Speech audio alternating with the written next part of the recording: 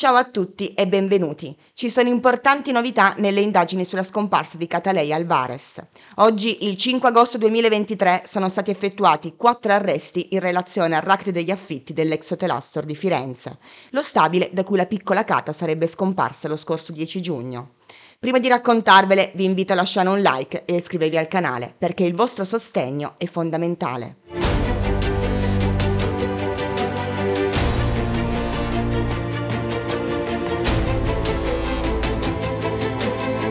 Hanno arrestato quattro persone e le misure cautelari nei loro confronti comprendono le accuse di estorsione, tentativi di estorsione, rapina, minacce, tentato omicidio e lesioni gravi nei confronti di altri occupanti dello stabile.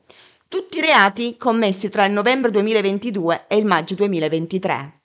Tutte e quattro le persone arrestate sono cittadini peruviani e uno di essi è lo zio materno di Cata. Abel, l'ultima persona nota ad aver visto la bambina prima della sua scomparsa. Gli arresti sono collegati al cosiddetto racket degli affitti, un'attività illecita che coinvolgeva l'occupazione dell'ex hotel Astor di via Maragliano a Firenze. Le accuse contro di loro si riferiscono principalmente alla compravendita illegittima del diritto di occupare le stanze, richiedendo tangenti per l'affitto che variavano da 600 a 700 euro.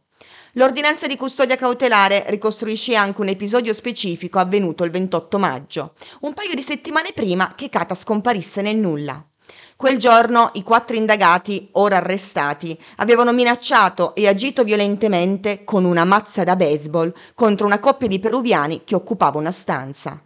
Inoltre hanno compiuto violenze nei confronti di altre persone presenti nella stanza accanto e uno di loro, un inquilino originario dell'Ecuador, temendo per la sua vita, si era lasciato cadere nel vuoto dalla finestra, rimanendo gravemente ferito.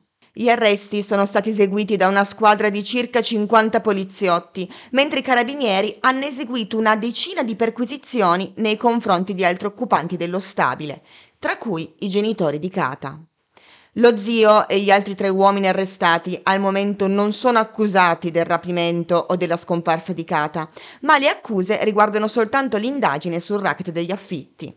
Tuttavia, da tempo i genitori di Kata sostengono che qualcuno sia a conoscenza di importanti informazioni, ma che si rifiuti di collaborare con le autorità. E fin da subito, visto che non è stato richiesto alcun riscatto alla famiglia, si pensa che il rapimento possa essere collegato alle attività illecite che avvenivano nello stabile e, in particolare, allo zio di Kata, che proprio il giorno della scomparsa, secondo una testimonianza, era stato cercato da tre individui sconosciuti. Forse questa indagine parallela farà finalmente chiarezza sull'intera vicenda. Ditemi nei commenti cosa pensate di questo caso, quale potrebbe essere il motivo del sequestro e chi potrebbero essere le persone coinvolte. Io vi ringrazio e vi aggiornerò sulle vicende di attualità nei prossimi video. Se vi interessa l'argomento non dimenticatevi di iscrivervi al canale. Ciao e a presto!